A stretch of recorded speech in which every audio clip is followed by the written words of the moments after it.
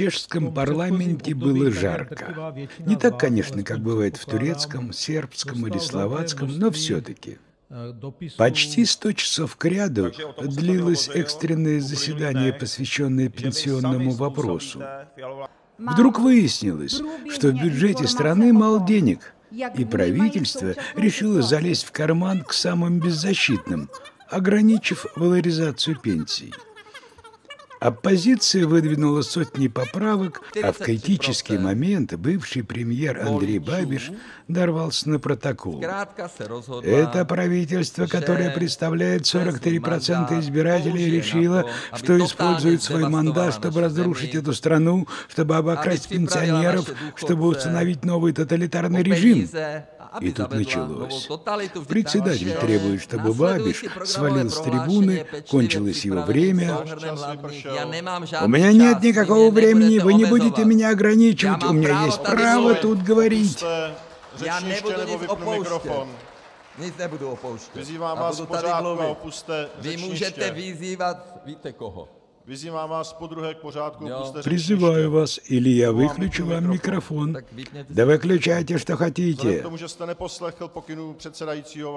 Так как вы не послушались, я вам выключаю микрофон и приглашаю следующего оратора. И председатель выключил микрофон, а оппозиция заблокировала трибуну. Vzhledem k tomu, že ji tady nikde nevidím, tak ji dám na konec. Председатель бубнит, что приглашает следующего оратора. Обращает внимание, что ее время истекает. Она пришла. Это невероятно. Говорить должен лидер движения с преимущественным правом. Это мерзость. Если хотите продолжать и днем, и ночью, так мы с трибуны не уйдем. Да хоть полицию или спецназ вызывайте, мы не уйдем. Po, po, pošlete sem třeba policisty, zásahovou službu. My se nehneme. Já jsem tady Я тут devátý девятый rok. год, и то, что Tohle, творится co se при děje правительстве za Фиалы, это Fialovy мерзость. Ответственность за блокирование заседания лежит не на депутатах, а на руководстве парламента. Это недопустимо, а вы, мадам председатель, должны собрать вещи и уйти.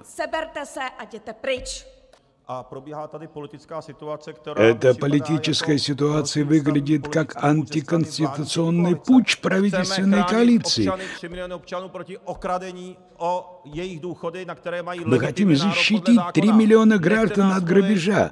Дайте нам говорить, дайте нам защищать граждан и кончайте обходить. Конституцию. Мы не уйдем, и если pošlete на нас полицию, несмотря на цензуру, мы будем защищать свободу и демократию. Svobodu a demokracii. Да, кстати, а чем дело-то кончилось? Hlasování 426. И вы совершенно 69, правильно думаете, 95, что парламент проголосовал 74, правильно, и что пенсионеров все-таки грабанули.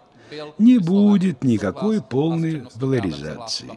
И я готов пойти в магазин, купить там шляпу, которой у меня нет, чтобы ее съесть, если чешское гражданское общество выйдет протестовать и звенеть ключами, 3 как когда-то, в příjemců 89-м. starobních, invalidních, vdovských a siročích důchodů o.